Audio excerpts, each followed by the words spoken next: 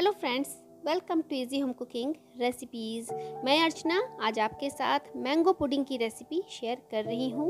आप देख रहे हैं, हमारी पुडिंग कितनी ज़्यादा सुंदर दिख रही है। बिल्कुल जली की तरह से ये बनी है और ये बहुत ही ज़्यादा सॉफ्ट भी है।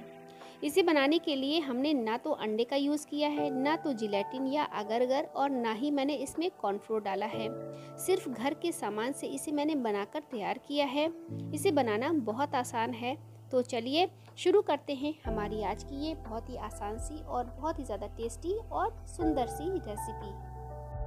पुडिंग बनाने के लिए मैंने यहाँ पे डेढ़ कप आम लिया है। आम को छीलकर छोटे छोटे पीसेस में काट लिया है।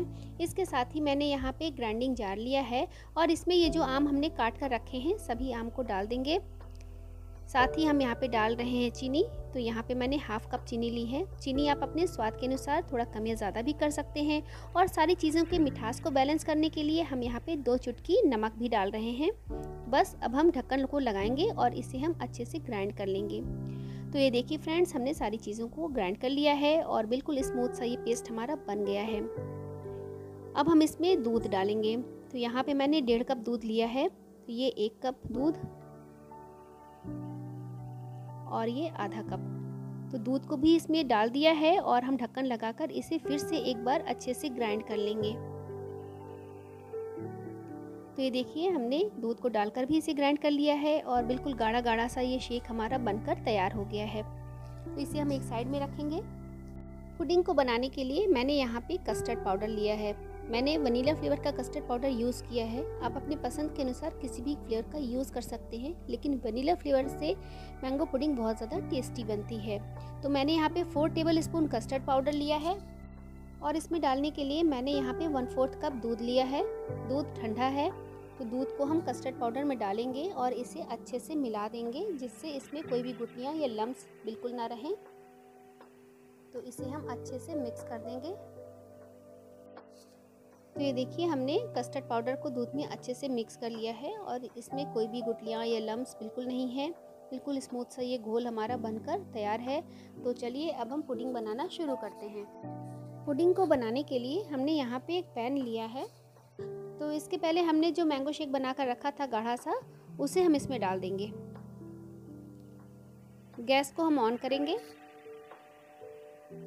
और गैस को हम बिल्कुल धीमा कर देंगे।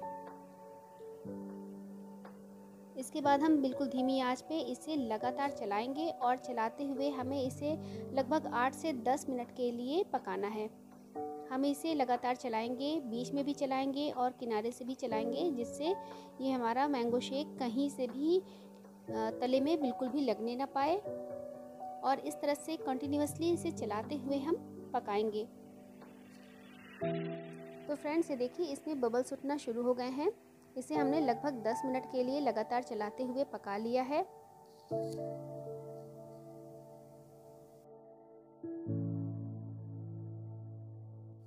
अब हम इसमें दूध और कस्टर्ड का घोल डालेंगे, जो हमने पहले बनाकर रखा था। लेकिन डालने से पहले हम इसे एक बार अच्छे से चला लेंगे, क्योंकि कस्टर्ड पाउडर नीचे तले में बैठ जाता है। और फिर इसे हम थोड़ा थोड़ा करके ही पैन में डालेंगे और इसे मिलाते जाएँगे। अच्छे से मिला लेंगे। उसके बाद ये जो बाकी का बचा हुआ घोल है, इसे भी इसमें डाल देंगे। इस समय आप चाहें तो गैस को बिल्कुल धीमा कर दें, या तो गैस को बंद करके इसे अच्छे से मिक्स कर लें, उसके बाद गैस को ऑन करें। लगातार चलाएँगे और जल्दी जल्दी से चलाएँगे, क्योंकि कस्टर्ड का घोल डालने के बाद ये बहुत जल्दी से गाढ़ा होगा और फिर तले में लगने के चांसेस बहुत बढ़ जाते हैं। तो इसलिए हम इसे जल्दी जल्दी से चलाएँगे। तो फ्रेंड्स, ये देखिए कस्टर्ड को हमने इसमें अच्छे से मिक्स कर लिया है। गैस को हमने बिल्कुल धीमा रखा है। धीमी आँच में ही इसे लगातार चलाते हुए हमें इसे पकाना है। बीच में भी हम इसे चलाएँगे और किनारों से भी इसे लगातार चलाते रहेंगे। हमें इसे एक मिनट के लिए भी चलाना नहीं बंद करना है, क्योंकि कस्टर्ड को डालने के बाद ये बहुत जल्दी से गाढ़ा होगा और फिर तले में भी ये लग सकता है, जिससे मैंगो पुडिंग का टेस्ट भी खराब हो जाएगा। तो इसलिए हम इसे लगातार चलाते रहेंगे और धीमी आँच में इसे हमें लगभग पाँच से छः मिनट के लिए पकाना है। फ्रेंड्स, ये देखिए, इसे पकाते हुए हमें लगभग छः सात मिनट हो गए हैं। ये मिक्स हमारा काफ़ी गाढ़ा भी हो गया है और इसमें बबल्स आना भी स्टार्ट हो गए हैं। बस हमें इसे इतना ही पकाना है।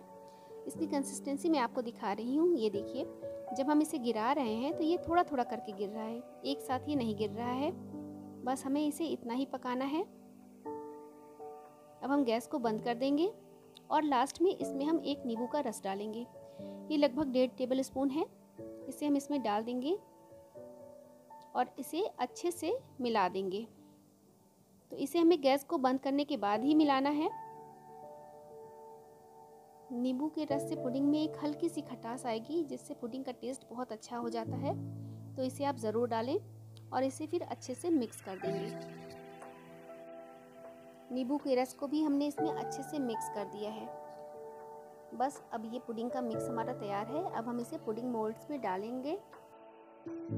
पुडिंग को सेट करने के लिए हमने यहाँ पे ये पुडिंग मोल्ड्स लिए हैं। इनमें हल्का सा तेल डालकर हमने इनको ग्रीस कर लिया है।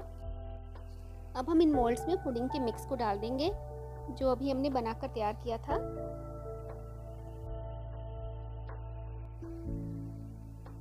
फिर हम इसे हल्के हाथों से लगभग दो तीन बार टैप कर लेंगे और इसी तरह से हमने बाकी के मोल्ड्स में भी मिक्स को डाल लिया है। आप चाहें तो इसे बाद में चम्मच से बराबर भी कर सकते हैं। बस पुडिंग हमारी सेट करने के लिए तैयार है। हम इसे थोड़ी देर के लिए बाहर रखेंगे, लगभग आधे घंटे के लिए। जब ये हल्के से ठंडे हो जाएँगे, उसके बाद हम इन्हें दो ढाई घंटे के लिए फ्रिज में रखकर ठंडा कर लेंगे और फिर जब ये अच्छे से चिल्ड हो जाएँगे, फिर हम इन्हें सर्व कर सकते हैं। तो फ्रेंड्स, ये देखिए, हमने पुडिंग मोल्ड्स को फ्रिज से बाहर निकाल लिया है। हमने इन्हें लगभग ढाई घंटे के लिए फ्रिज में रखा था और ये देखिए, हमारी पुडिंग कितने अच्छे से सेट हो गई है और ये बिल्कुल चिल्ड है। इसे अब हम अनमोल्ड कर सकते हैं, लेकिन उससे पहले हम उंगली से इस तरह से इसके साइड्स को छुड़ा लेंगे, जिससे अनमोल्ड करने में बहुत आसानी होगी। तो आप देख रहे हैं कितनी ईजिली ये साइड से अलग हो जा रहा है।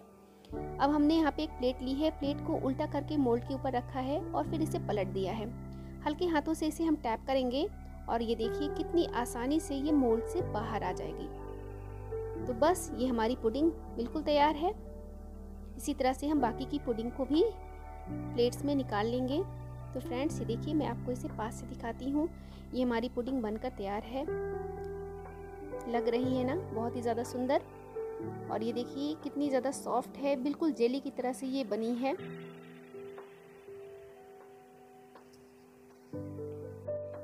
इनके ऊपर थोड़ा सा पुदीने की पत्तियाँ रखकर हम इनकी गार्निशिंग कर देंगे। गार्निशिंग आप अपने पसंद के अनुसार, फ्रेंड्स, कैसे भी कर सकते हैं। तो बस ये लीजिए, हमारी मैंगो पुडिंग बनकर बिल्कुल तैयार है। ये देखिए, देखने से ही पता चल रहा है ये कितनी ज़्यादा टेस्टी बनी होंगी। बहुत ही ज़्यादा ये सुंदर हैं, बिल्कुल जेली की तरह से ये बनकर तैयार हुई हैं। इन्हें बनाना बहुत आसान है। तो फ्रेंड्स इस बार गर्मियों में आप इन्हें ज़रूर बनाएँ। आपको भी ये रेसिपी बहुत ज़्यादा पसंद आएगी। तो फ्रेंड्स आपको मेरा ये वीडियो कैसा लगा? अगर मेरी ये रेसिपी पसंद आई है तो प्लीज़ एक लाइक कर दीजिए और मेरे चैनल को अगर अभी तक आपने सब्सक्राइब नहीं किया है तो सब्सक्राइब भी कर लीजिए और नोटिफिकेशन आइकन को भी प्रेस कर दीजिए, जिससे आपको आगे आने वाले मेरे सारे वीडियोस के लिंक भी मिलते रहेंगे। And thank you for watching friends